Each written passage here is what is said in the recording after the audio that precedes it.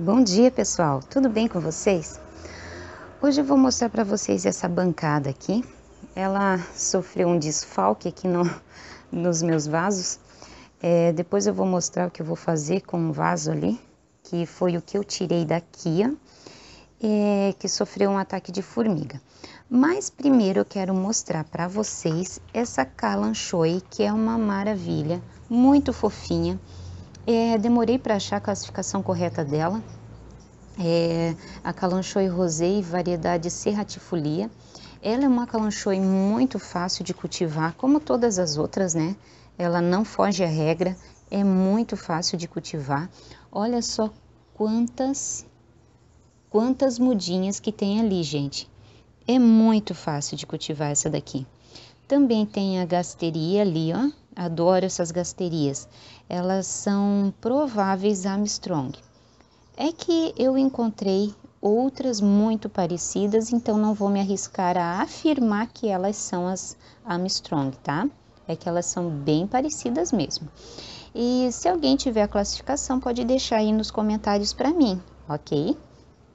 É, aqui atrás é, não faz parte do mesmo vaso. Ah, no mesmo vaso aqui tem a Calanchoe Carnicolor, que eu tenho bastante. E aqui atrás, que não faz parte do mesmo vaso, é do outro ali, ó. Eu tenho o Senécio Mandraliscae. Mandraliscae. É outro também que é da família da Asteraceae. Temos bastante suculentas nessa, nessa família, tirando das crassuláceas, né? Crassulaceae, na verdade. Deixa eu mostrar o substrato que era o substrato do vaso, o vaso inteiro, né? Vamos mostrar. Esse substrato aqui, ó, hoje eu vou fazer o seguinte: eu vou passar no forno como eu fiz no substrato da Echeveria chaviana, que eu vou mostrar no, num outro vídeo, numa outra oportunidade para vocês. Essas bolinhas brancas são duas naftalinas que tinha no vaso e não impediram das formigas é, atacarem a, as plantas, as raízes, porque assim o, as plantas estavam com formiga, muita formiga, gente, estava com bastante formiga, elas não desenvolviam e também tinha cochonilhas na, na base. Aí, por que eu vou fazer passar no forno?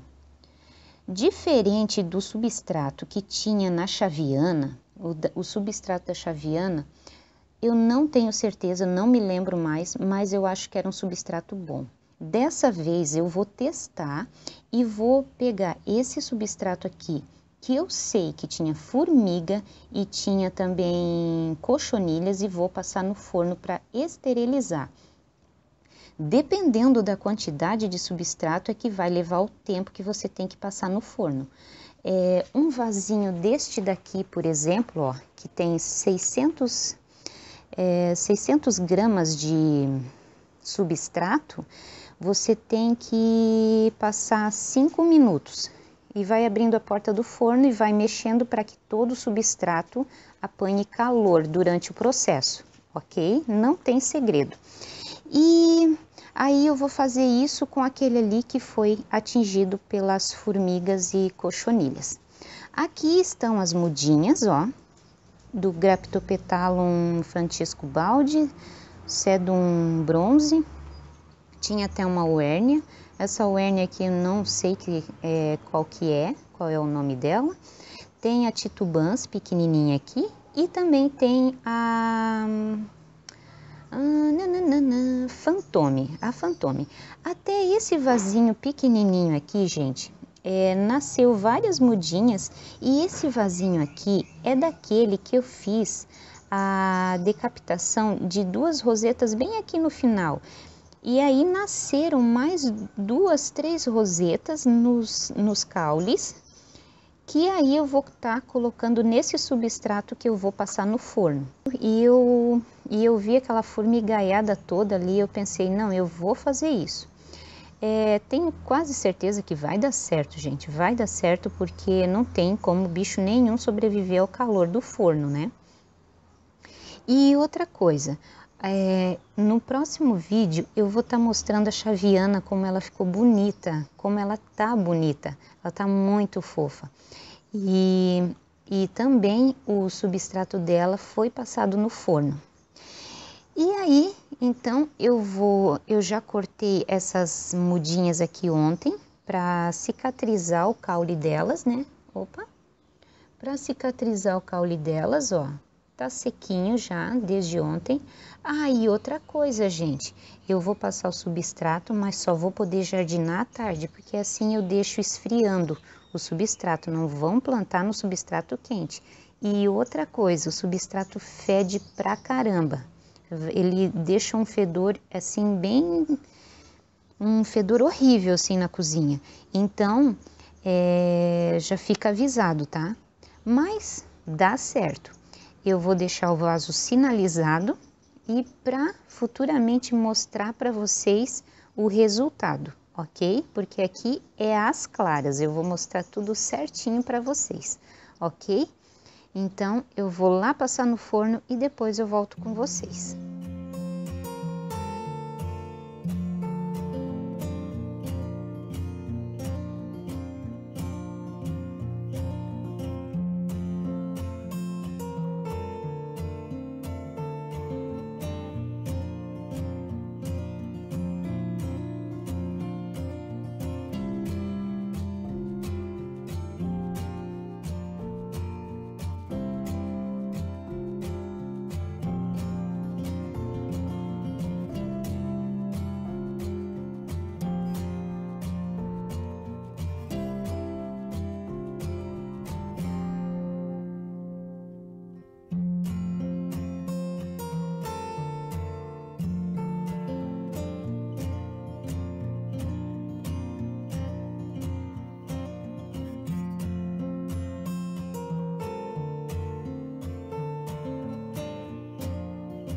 Vaso ficou assim, ó, ficou bem bonitinho.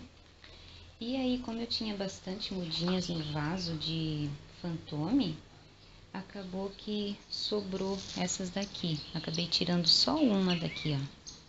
E ainda sobrou mais ainda três ali, pequenininhas. Deixei ela com essa bandeirinha aqui para sinalizar que o substrato foi passado no forno. E aí, para ser bem honesta, eu tive que colocar um pouquinho mais de substrato que eu tinha lá, mas dessa vez eu só coloquei terra, não botei humus, não botei nada, só terra. Para substituir porque ficou raso, ficou acho que uns dois dedos abaixo de terra. E aí precisou colocar mais. Aí, então foi a única mudança aqui. Aí eu já varri aqui, ó e vou colocar ele nesse novo lugarzinho aqui, ó. Olha só como ficou bonitinho. Aí eu ainda vou colocar uns vasinhos pequenininhos aqui na frente para aproveitar o espaço. E aquela bandeirinha lá eu vou ainda escrever o nome das Fantome. Olha só como elas são parecidas, a Fantome com a Titubans. São muito parecidas. Mas a, a Titubans, que é essa daqui, ela só fica nesse tamanho. A Fantome ela vai crescer mais, ela é diferente. Aí aqui também tem uma, duas, três titubãs. Então é essas plantinhas. E aí eu quis colocar o hérnia, porque eu quis aproveitar no vaso para não ficar fazendo muito vaso, né? E ficou assim. Olha o banco como que ficou. Ficou bonito, né, gente?